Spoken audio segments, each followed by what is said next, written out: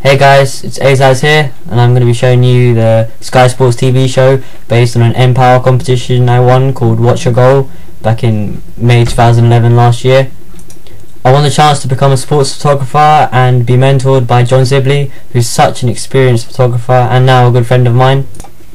The show also features another winner of the competition, Ollie, of whom I did meet on the same day at Wembley. I know he had as much fun as I did, even though we were put under pressure at times. But overall, it was a great experience for me, and yeah, I hope you enjoy watching it.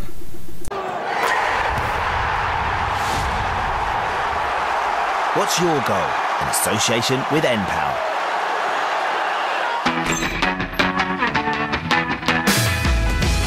Football is British sport's biggest employer, with a workforce of thousands on and off the pitch. We recently offered young sports fans the opportunity of a lifetime. A chance to get first-hand experience in just some of those jobs which help make the beautiful game tick. Like calling the shots as a live television producer. One more question to Carl. Or in front of the camera presenting a football show for Sky Sports TV. And I'm here live at Fratton Park. Go pitchside as a photographer shooting all the action at Wembley. To be with a referee on playoff day at Old Trafford. Good decision. Helping a league club to make money as a business manager. Try not to let the pressures of the job get to me too much. And to be a football manager with a top championship football club.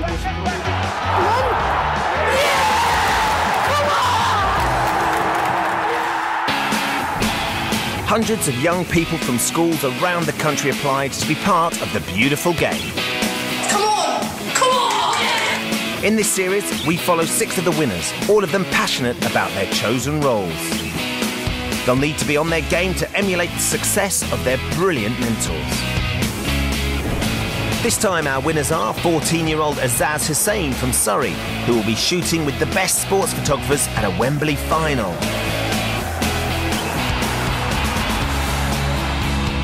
And 12 year old Ollie Marden from Tunbridge Wells, If you look through there, you can see. looking on cue to being the future in sports TV presenting. What do you think? First half then. Certainly entertaining. They found their goal. In the next half hour, you might also just find out what's your goal.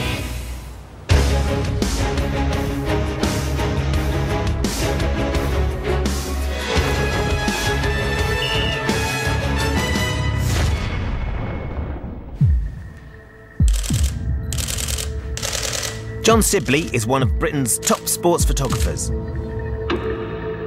He's covered just about every major football match around the world over the past 20 years. A great photo really has to sum up the match.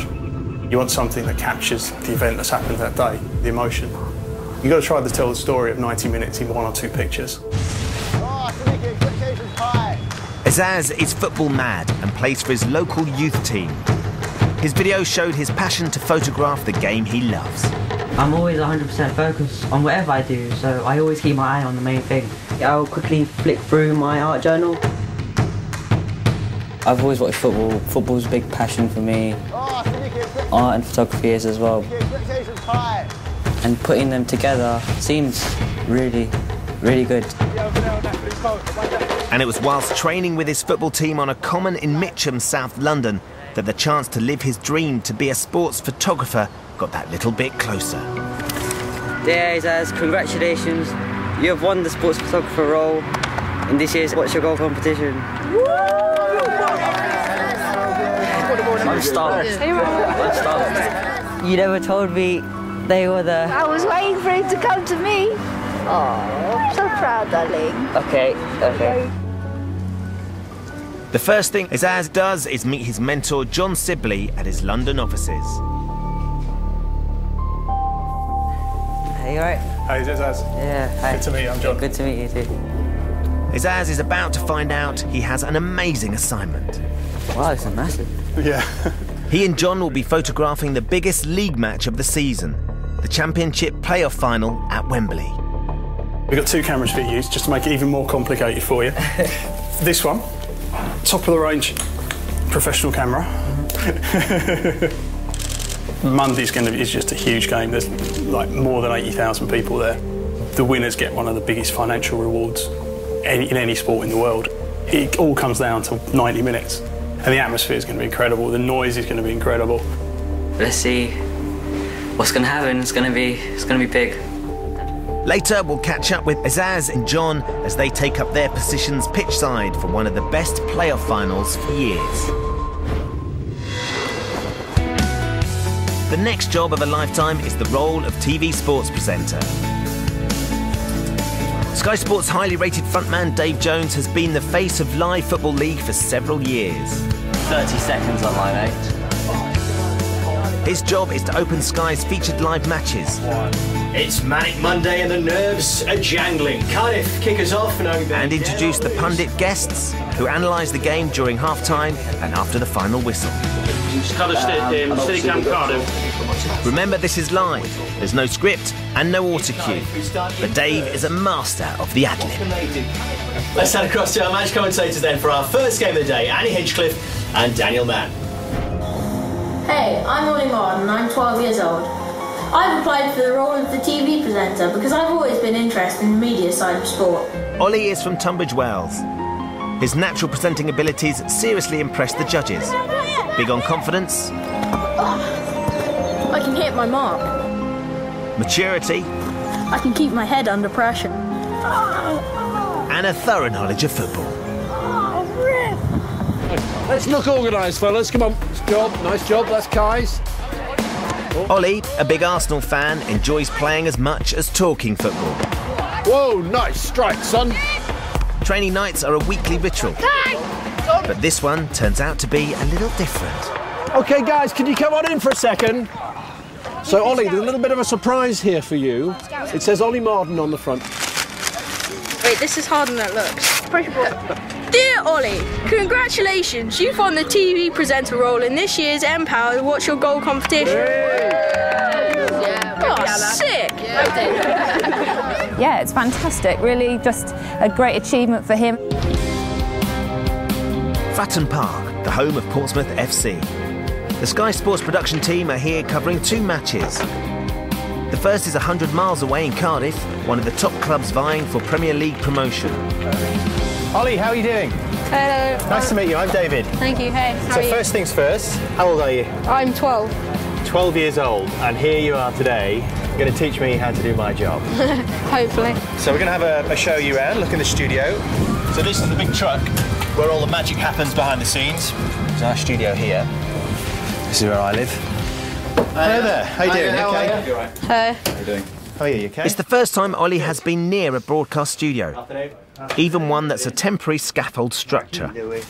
First of all, they give us a feed of the game that we're seeing here, and then at half time, we'll be looking at the pictures at the same time as you at home will be looking at the pictures. Say you like forgot what you're supposed to say. Would you get prompts from behind the camera or something? It's a good question. And This is all live. You only get one chance. That's a big Alright. saying on the Sky Crew. So a very key thing, really, Ollie, is the relationship between you and the producer.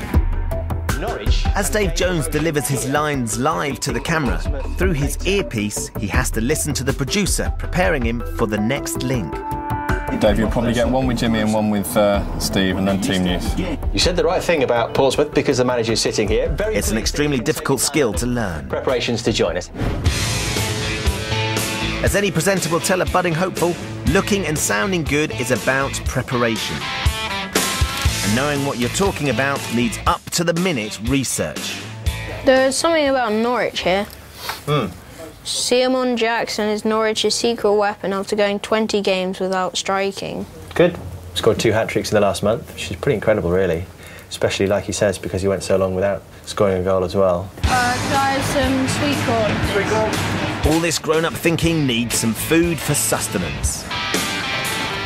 The crew lunch bus has more than gruel on offer for our Oliver. There you go. Thank you. He'll need all he can get as Dave sets a challenge that Ollie is completely unaware of.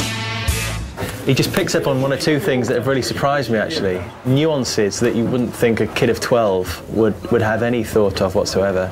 We'd like to get him to have a go in front of the camera, see if he can actually deliver a script that he's created himself under a little bit of pressure. It's a split audio. There'll be a bit of your voice, David, with a count. Okay. All right, so I've just got to do words before that. Yeah, you just got. Right, you don't- At the production run through, everyone gets to know their roles for the five hour football fest that is just a couple of hours away. Keep it simple. Keep it short. I've literally only got a line and a quarter so far. It's a long line to me.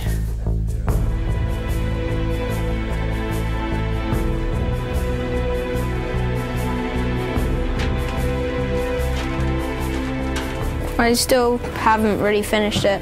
I've just kind of got the build up of it. Hello, this is me, Ollie Marden. So you can just go straight from Fratton Park into there, just to make it that little bit shorter. Okay.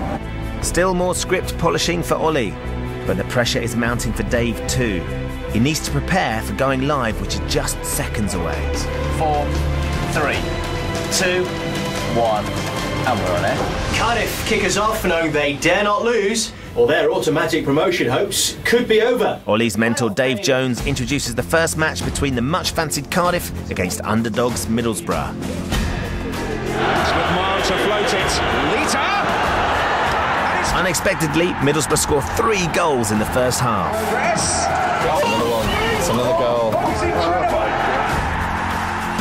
I think they're just stunned, aren't they? As is Jimmy, who's watching on here at Fratton Park. Well, cat amongst the pigeons. Forget that. During the half-time studio break, Ollie hopes to score by impressing Dave with his presenting skills. Stand by, Ollie. Coming to you in five. Just like the real thing, Ollie gets a count in for his TV debut delivery. Hello, this is me, Ollie Marden, and I'm here live at Fratton Park. If Cardiff lose today against Middlesbrough and Norwich win, they can take automatic promotion. Also, if QPR get deducted points, then Norwich can take first place in the championship. This is Ollie Marden signing off from Fratton Park. Very good. Do not let my producer see that, because I'll be in trouble. I'll be out of a job. Thanks. Well done, Ollie. I'll be looking out for you. Thank you. Not too quickly, though. Everything that's happened, pieced together, I mean, that's been the best part of the day, really, all of it. All that remains of the championship season is a Premier League promotion decider. In part two, Ollie and I are there for the big one. But first, we're on Wembley's turf to co-commentate the Kids' Cup final. And we join Aizaz pitchside as he snaps away during an amazing playoff final with the Wembley roar ringing in his ears. What's your goal in association with N-Power?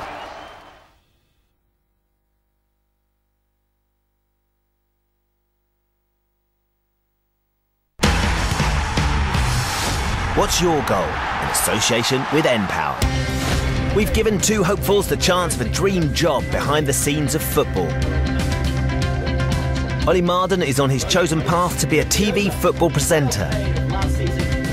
And Aizaz Hussain is about to realise his ambition to be a hotshot photographer in the sport he loves. It's Championship Playoff Finals Day. Up for grabs a staggering £90 million to the winner of today's match between Reading and Swansea.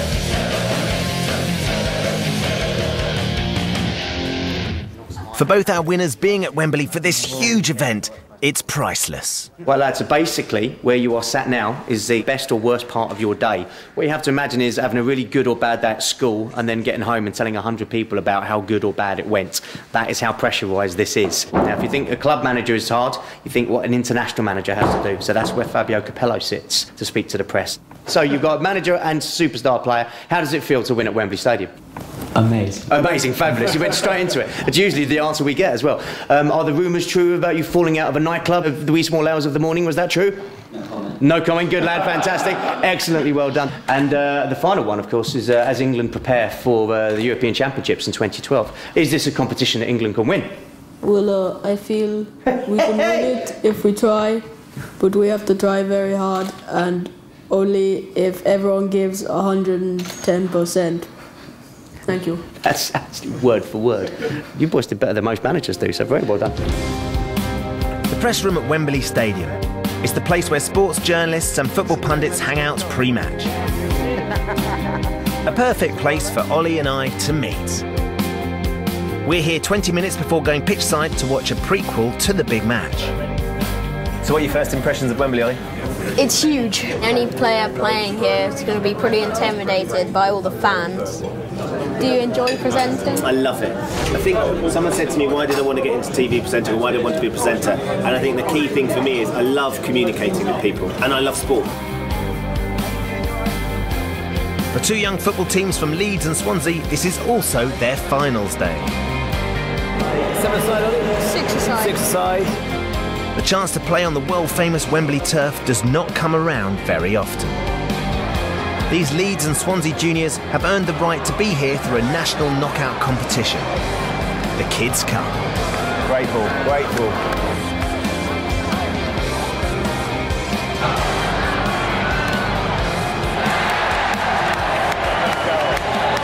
Leeds 1 0. So, what do you think of the first half then? I think Leeds could be on top, really. Swansea, I think they're getting in the right areas and then they're just kind of giving it away. Who's impressed you so far, Ollie?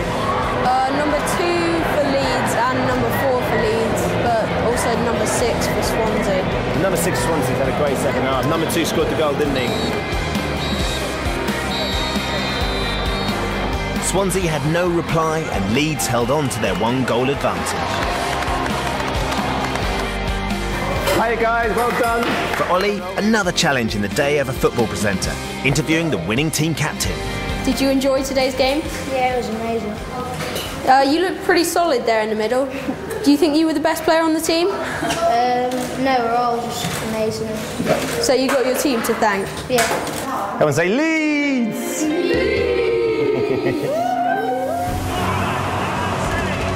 So, from one photo opportunity to another. Aizaz's mentor, John Sibley, has covered dozens of playoffs. So we could go here. Yeah. It's quite so he knows the best positions to get the best shots. They've pitched up near to the goal in front of the Reading supporters. The toss of a coin and attacking play will determine whether Swansea head their end with goal and photo opportunities. This is it. This is what I've been waiting for. So you got someone in the middle of the pitch. He's running this way. Yeah. You think he's going to take a shot on goal? What you going to do is tuck it into his shoulder, duck down, and then pick that up and take the picture. But where would this go if this is going to go on your? Just when you get used to it, you'll be fine. So swap back now. Come on, it's quick, quick. We're going to our score. Come on, come on, come on, come on, come on. That goal's there though. Oh, hello.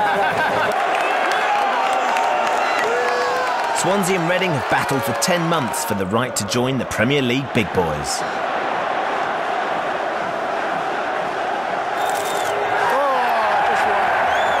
Right, change lenses. John's instincts proved right as Swansea attack from the off, heading straight towards our happy snappers. Let's have a look. Ah, brilliant. It's your first good picture of the game, that. Oh! It's a penalty. So this is a key picture, this. Not done putting the pressure on. Look through the lens. Off you go. So stay on him and follow him in.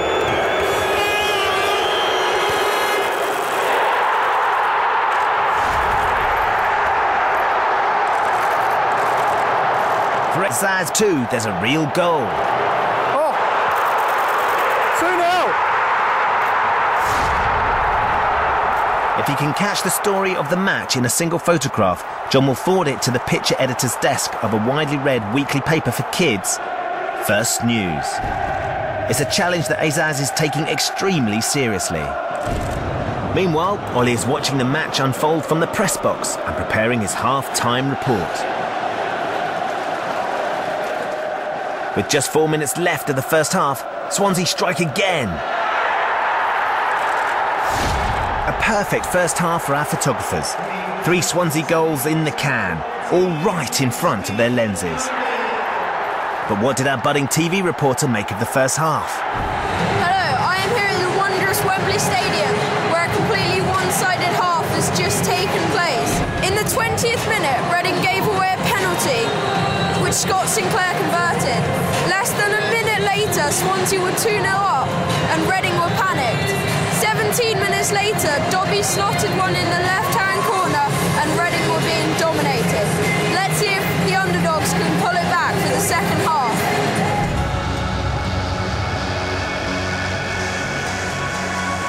Aizaz and John certainly got the best end of the action in the first half.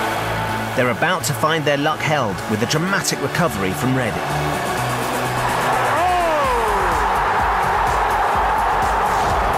Now it's really interesting. Goals and the weather rained in from the kickoff.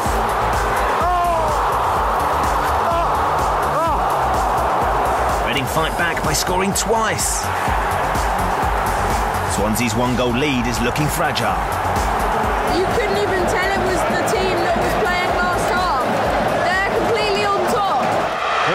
Here Tate. Borini, challenge, and another penalty kick for Swansea. Why, why, why? Swansea seal the playoff victory with a late penalty, and Wembley Stadium erupts as the fans celebrate. 30 years in the making. The game was up for Reading. Their loss was not just the match, but also an awful lot of money. For any TV sports reporter, delivering in this cauldron of noise is a challenge.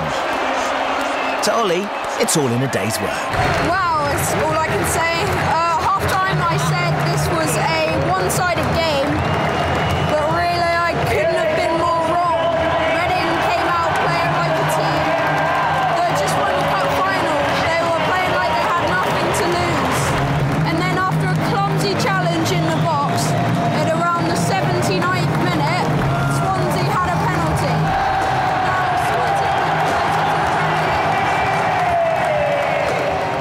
struggles to make himself heard, the Swansea team really starts celebrating as they lift the cup, £90 million richer.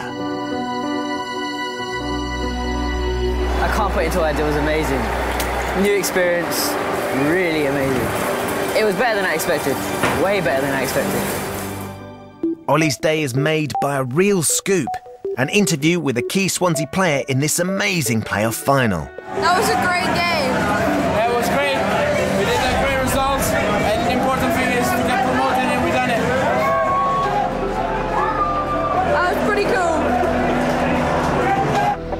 Was pretty cool. Work is done.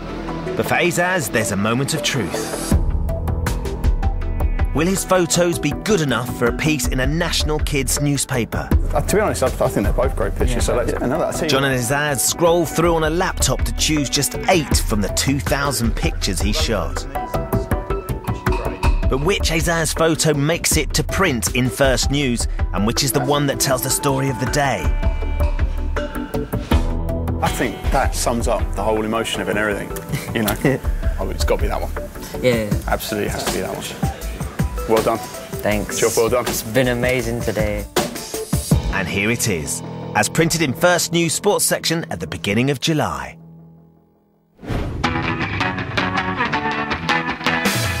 In this series, What's Your Goal has seen six incredible young people working behind the scenes of football. Each one has shown they are ready to take on their mentors at their own game. Could you?